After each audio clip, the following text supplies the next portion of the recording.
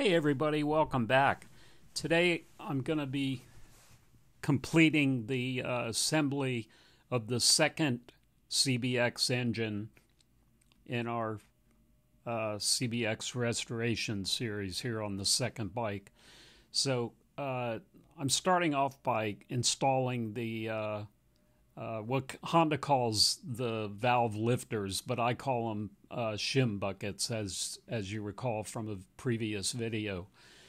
But uh, anyway, so I'm uh, installing all 24 of them here, and uh, once those are done, then here I'm installing the the brass washers for the head bolts and so that we can get those uh, for, so we can get the head uh, bolted down and torqued before we install the uh, the cam and the cam chains. So just kind of quickly going through the process here, just installing all the uh, the cap nuts to the head.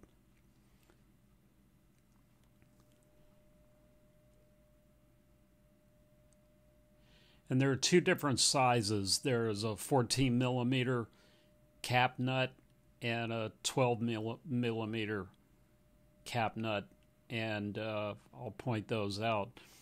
So there's there's two sizes. There are 12 and 14 millimeter, and and uh, I use a six point. There's a there's a 12 point socket and a six point socket uh, or hex socket, whatever you want to call it. But I use the uh, the six point socket because you get a much more uh, precise um, attachment to the nut. So uh, and then, um, like I said before, you have 14 millimeter caps in the center, all the way around, and then on the on the ends, and in the middle of the head are the uh, are the 12 millimeter caps.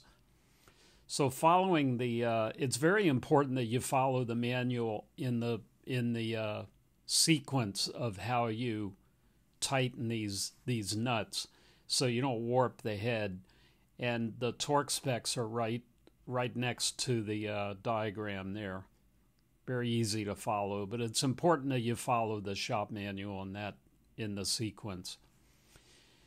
So on a torque wrench, and I'm sure that most of you know this, but uh, torque wrenches have uh, both uh, metric and standard torque specs, and the the uh, the handle has a series of numbers starting with the zero and a little lock nut here, and you just turn the handle uh, to, you know, to get the uh, the correct torque reading that you want. So you just turn the handle until you get the uh, the correct reading. So like in this case, it's foot pounds, and it starts at 10 and goes all the way up to 90 or whatever, depending on your torque wrench. So you start with the zero and you just keep turning until you get to your uh, desired uh, torque spec. Again, I'm sure most of you know this, but for those who have never used a torque wrench, that's just kind of a quick little thing. It's very easy. You just dial to the spec that you want, and uh, it's very easy.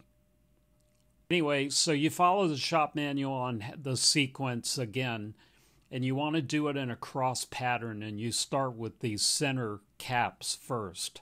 So you do it in a cross pattern according to the manual, just like that, just a cross. And then do the same on the other side, on the other bank. Start with the center ones first in a cross pattern. You do that all the way around. Then you do the uh, end caps and the center caps the same way in a cross pattern.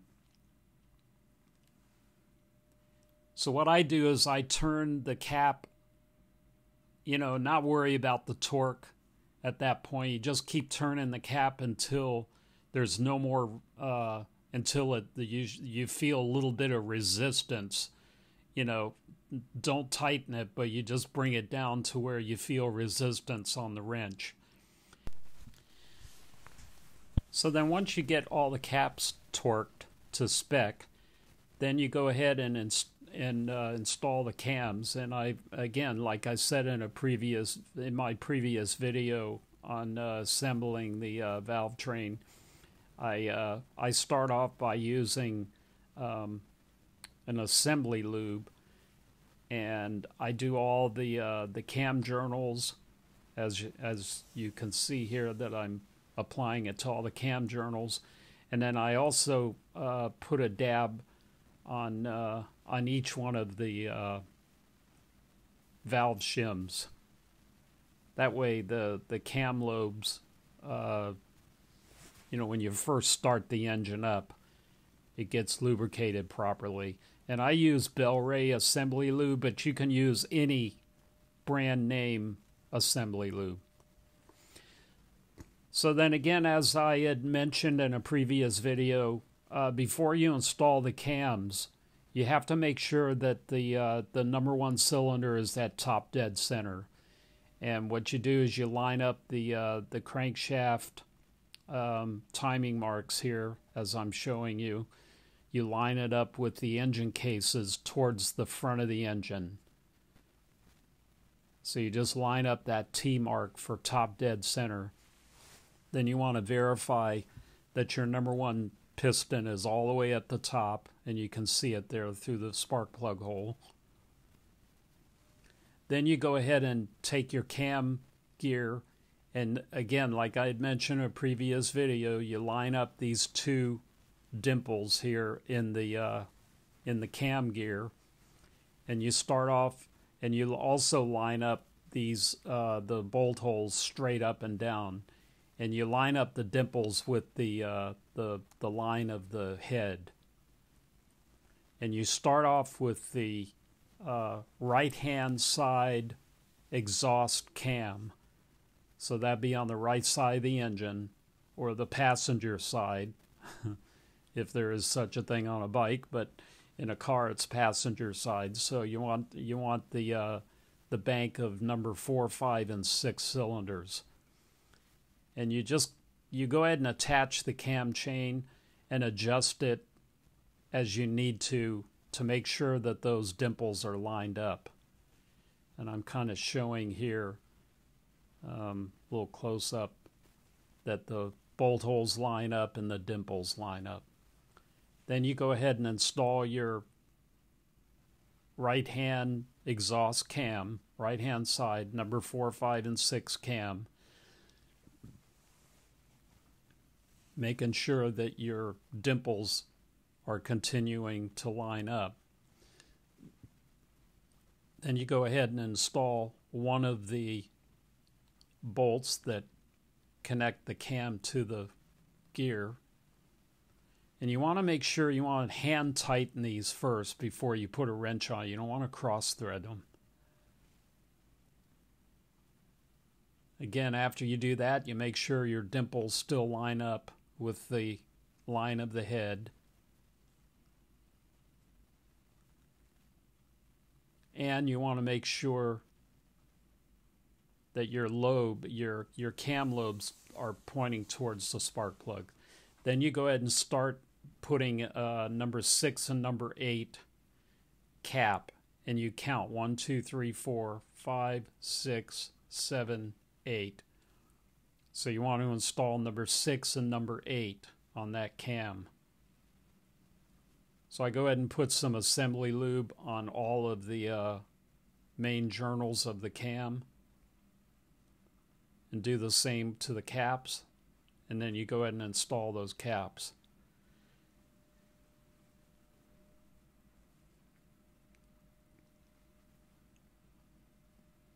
Again, you want to hand tighten these bolts first. You don't want to cross thread. It's very easy to cross thread on an aluminum engine.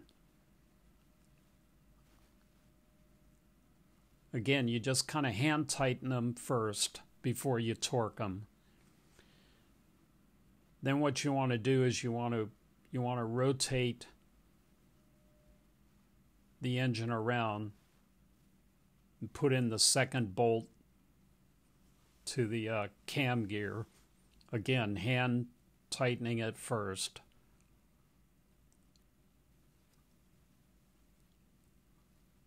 Then you go ahead and tighten those up to spec, which is very light. It's only like 12 pounds. Then you go ahead and install your your other cam, your intake cam. Again, making sure that your lobes are pointing towards the spark plug.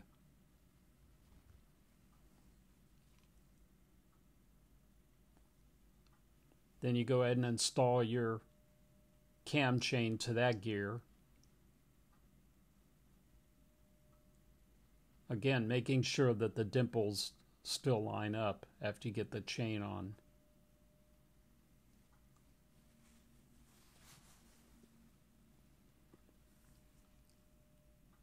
It's a little tricky, but you know, you just keep adjusting the cam on the gear until you get those uh, dimples to line up properly.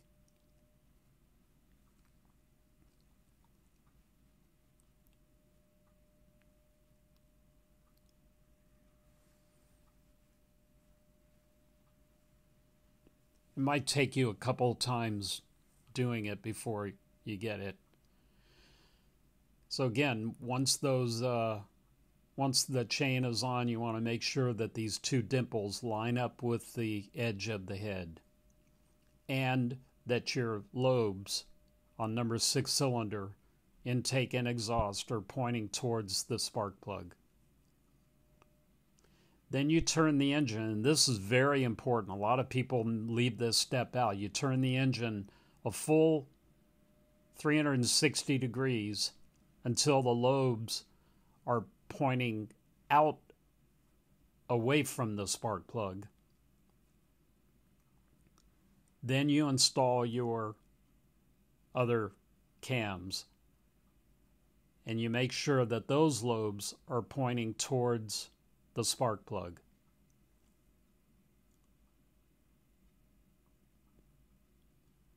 Very important. You turn the engine 360, get number six cylinder lobes pointing out away from the spark plugs. Then you install your other cams pointing towards the spark plugs.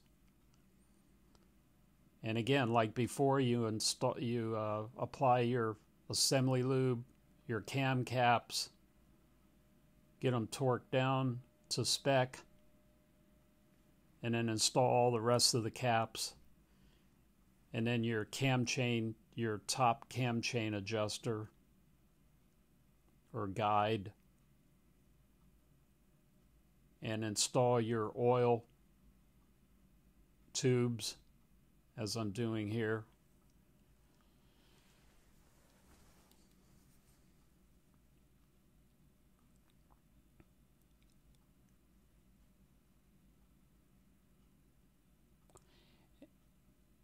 And once once the uh, once you have all the caps and the oil tube and and your uh, cam chain guide and all of that, then you want to adjust your your uh, cam chain so that it's uh, tightened up.